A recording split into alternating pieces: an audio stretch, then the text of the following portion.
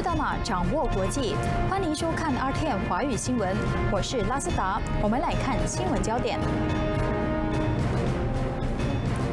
我国今天新增八百四十七起确诊病例，其中沙巴占了五百七十八起，随州一百三十七起，森美兰三十八起。今天新增四个感染群和五个人病逝。森美兰新南瓦阿苏法伊斯兰寄宿中学有三十三名学生学生证实感染新冠病毒，该校目前已经被勒令关闭，并进行消毒工作。随州乌达玛感染群再增加八起确诊病例，并且出现第六代传染。八达岭的彩虹白沙罗总部 B 栋有二十三名居民确诊病例。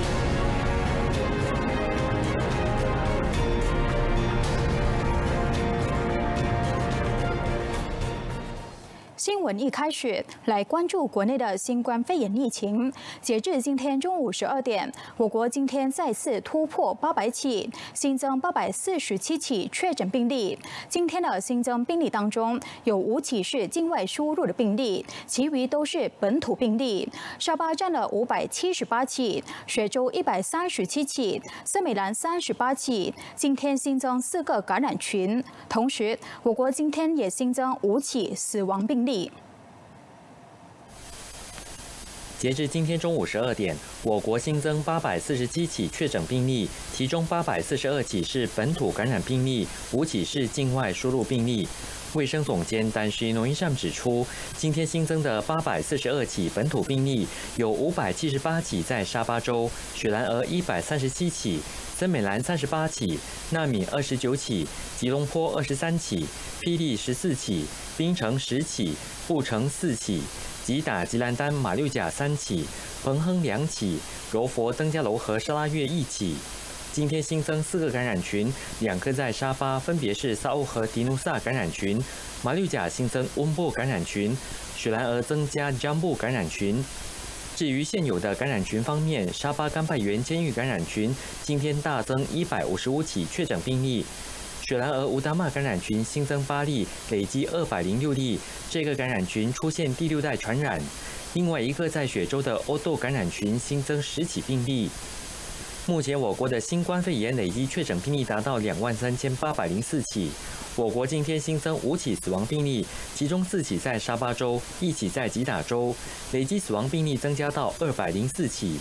卫生部指出，单日痊愈出院的患者有四百八十六人，目前累计康复出院的人数有一万五千四百一十七人。目前还有多达八千一百八十三名确诊病患还在医院接受治疗，其中九十人在加护病房接受治疗，二十九个人需要使用呼吸器。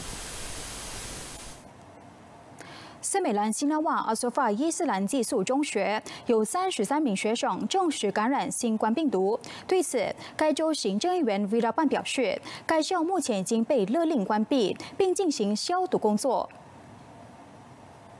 维拉班表示，该校在接获消息后，卫生部已经安排教职员以及学生进行病毒检测，同时不允许任何人进出校园。另外，卫生部昨天已经为七十五名学生进行病毒检测，检测结果目前还没有出炉。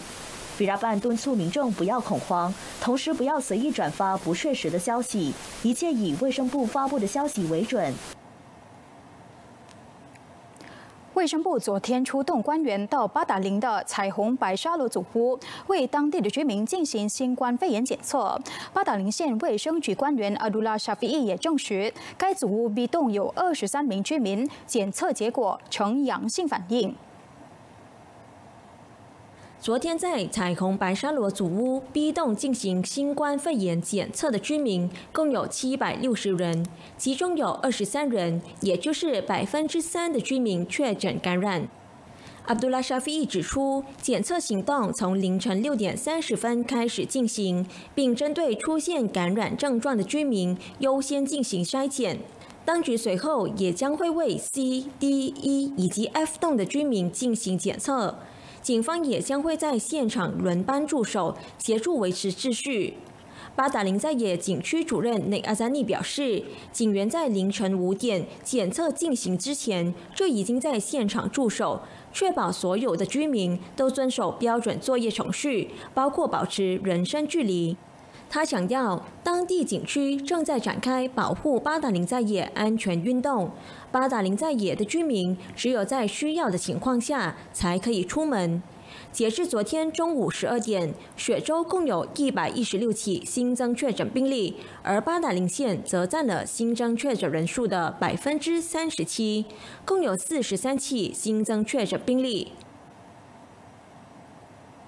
雪州八达岭在野圣约瑟夫国际学校一名女实习教师确诊感染新冠肺炎，该校将展开消毒工作，以确保全校的人员安全。此外，该校职员即日起将落实居家作业。这名实习教师在十月十二号曾经到学校报道，随后由于实习教师曾经与一名确诊病患有过密切的接触，因此该校在十三号开始关闭。据了解，这名实习教师从十月十四号因为感到身体不适，第一时间自我隔离，他被要求进行病毒检测，而检测的结果呈阳性。圣约瑟夫国际学校校长发表通告指出，该名实习教师已经。在十月二十号收到检测结果报告，校方表示将配合政府拟定的标准作业程序，严守防疫措施，以及在有关当局的指示之下进行消毒和清洁工作。为了安全起见，该校的全体职员也已经被指示居家工作。另外，校方表示，在必要时会更新该校最新的消息，也希望大家都可以遵守卫生部指示的作业程序，以阻止病毒扩散。吉打州华岭县再有一所学校，因为有一名学生确诊新冠肺炎，所以被下令即日起关闭七天，直到十月二十八号。学校关闭期间，学生将进行线上授课。东姑布特拉小学是华林县第二所因为出现确诊病例而关闭的学校。在学校关闭期间，教职将从面对面教学改为线上授课。啊，saya harapkan semua guru patuhi SOP seperti mana yang saya sebut selalu-selalu lah dan juga kena prihatin lah dalam soal ini dan apa nama ni guru-guru bertugas dalam suasana yang dikeluarkan apa nama cara-cara untuk macam mana nak mengatasi uh, pembelajaran uh, dalam uh, keadaan kita menghadapi uh, COVID. 两天前，也就是十月二十号，吉打华林中学也因为学校有教职员确诊新冠肺炎而关闭七天，直到十月二十七号为止，以便校方进行全面的清洁及消毒工作。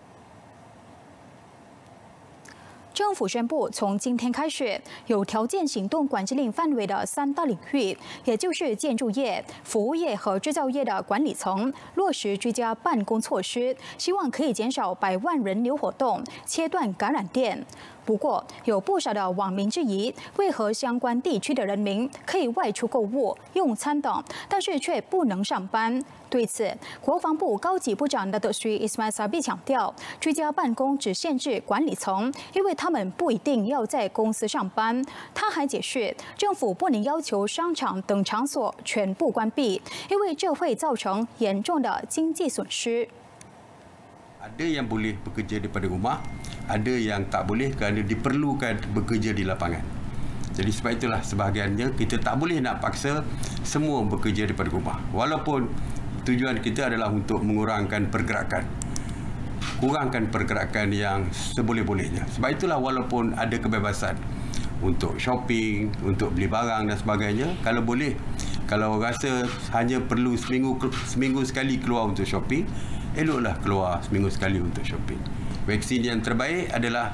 berada di rumah, tidak keluar berjumpa dengan sesiapa. Itulah yang sebaik-baik 他还说，允许夜市和超市营业是因为人民需要生计。无论如何，他还是提醒国人，为了健康着想，不要随意外出。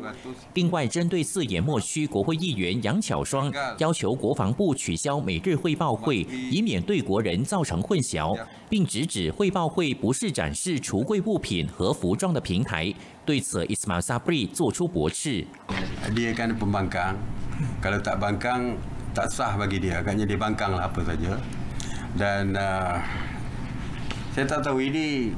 kabinet yang dah ada takkan dibuang lah. Ismail Sabri 进一步解释，每日汇报会是为了让人民知道政府有在做事，严格执法，以防止任何非法入侵和对付违令者。 另一方面，如果在新加坡工作被裁退回国的大马公民，可以向卫生部申请减免隔离费；如果回国有问题，可以向大马移民局反映。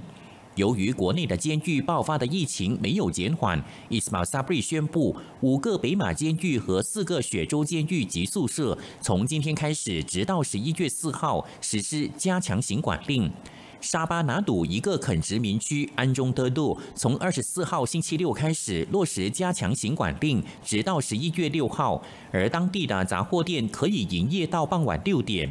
沙巴仙本那和古纳县的六个区加强行管令原定在本月二十四号结束，但是由于当地还有出现新病例，因此将被延长到十一月六号，以便继续筛查活动。国防部高级部长的杜苏伊斯迈萨比在二十号宣布，只是在有条件行动管制令范围内的政府机构以及私人领域的管理层，从今天开始居家办公，直到有条件行动管制令结束为止。对此，人力资源部也强调，所有的员工在居家办公期间，雇主必须要照常发放员工的薪资。人力资源部长的德须萨尔瓦嫩今天发文告表示，在居家办公期间，雇主必须要遵守劳工法令的指南，除了要支付员工每个月应该获得的全额薪资以外，也不能强迫公司员工请年假或者是申请无薪假期。他强调，这项声明是和三月行管令期间所实行的指令是一样的。不过，他也解释，为了维护雇主和员工之间的共同利益，雇主可以是先与员工商讨，在双方达成共识之下，才可以实行有关的行动和决定。如果有任何的疑问，民众可以拨打热线，向大马半岛人力局做出询问。伊斯曼萨比昨天也强调，这项居家办公指示只限于国际贸工部管辖的工商和公共服务领域，军警人员、公共交通、零售业及十四等则不受影响。另外，他也澄清，只有在有条件行动管制令地区的外籍员工才需要进行新冠肺炎检测，从红区上班的民众则鼓励接受筛检。然而，这并不是一项强制措施。随着槟城威南区小移的威省监狱和宿舍感染群确诊病例增加，国防部昨天宣布，今天起落实加强行动管制令，直到十一月四号，以遏制病毒蔓延。警方目前已经安排人员驻守监狱和宿舍的大门，直到军方接手。预计有两千一百一十名囚犯以及一千名监狱人员和家属受到影响。威南警区主任李总成表示，监狱内的职员和职员家属不允许随意外出，除非有紧急状况，但必须获得警方同意后才可以外出。此外，警方也会严厉检查出入的车辆，以确保送货的司机以及跟车员都有采取防疫措施。早前，槟城扣留犯监狱爆发热曼感染群。当局随即宣布实施加强行管令后，情况便得以控制。目前已经没有再出现确诊病例。根据卫生部的消息，爪威感染群昨天在新增九起确诊病例，累计确诊已经超过一百起。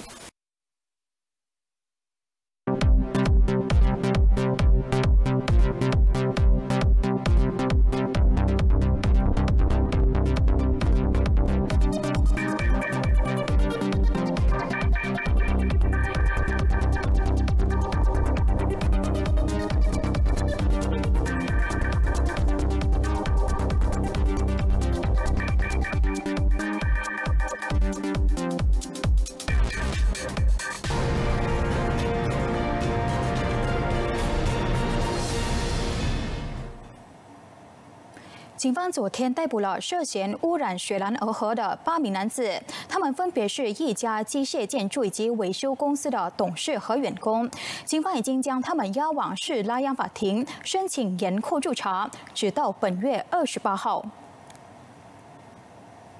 这八名嫌犯年龄介于二十八到六十六岁，其中包括两名六十二岁和三十一岁的公司董事，两人是父子关系。其他六名嫌犯分别是两名本地员工以及四名来自尼泊尔、巴基斯坦以及缅甸的外籍员工。这家涉及污染河流的公司也是来自雪州万挠，他们涉嫌将污染物从万挠共和流入雪兰莪河，并导致雪兰莪河出现异味，四个滤水站被迫停止运作。雪龙一千两百九十二个地区，将近一百二十万个家庭用户面临断水的困扰。警方将援引刑事法典第四百三十条文恶意损坏水利工程或非法引水调查这起案件。一旦罪成，将被判监禁不少过五年，最多三十年，或罚款，或两者兼施。醉酒和吸毒驾驶导致他人死亡的案件常常发生。交通部长的德水魏家祥表示，二零二零年陆路交通法令即将在明天二十三号开始生效。在新的法令下，涉及酒驾、吸毒以及鲁莽驾驶者将面对坐牢二十年或罚款十万令吉，或者驾驶执照被吊销二十年的刑罚，以确保道路使用者的安全。魏家祥表示，该部已经从总检察署获得有关法令的生效日期，并且已经在昨天完成签署宪报文件。他指出，有关法令的修正主要是针对1987年陆路交通法令第四十一到第四十五条文的刑罚，首次犯错者的刑罚从现有的最高十年提高到十五年，重犯者的最高刑罚则是坐牢二十年。修正后的法令也提高了罚款数额。首次犯错者的罚款从现有的两万令吉提高到十万令吉，重犯者的罚款则是十五万令吉。吊销执照的时限方面，该部建议从现有的十年提高到二十年。另外，第四十四条文醉驾导致他人死亡，一旦罪成，可以被判处坐牢不少过三年或不超过十年，同时可以被罚款不少过八千或不超过两万令吉。至于现有的第四十五条文关于酒精含量的限制，醉驾者一旦醉成，可以被判罚款不少过一千令吉及不超过六千令吉，或者坐牢不超过一年。在新冠肺炎肆虐之下，法国海军乐团欣然来到埃及，在金字塔前展开前所未有的演奏会。新闻结束前，一起到埃及首都开罗看看。我是拉斯达，感谢收看，我们再会。